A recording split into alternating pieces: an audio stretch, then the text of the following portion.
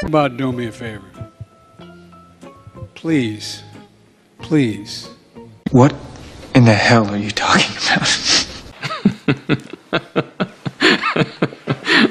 How embarrassing. Elect the Attorney General of the Senate. Damn! Hip hop? Hip hop anonymous?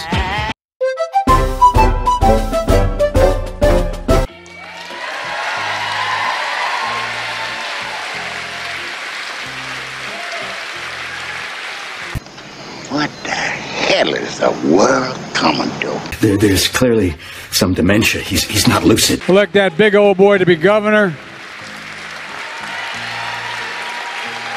You drunk? No.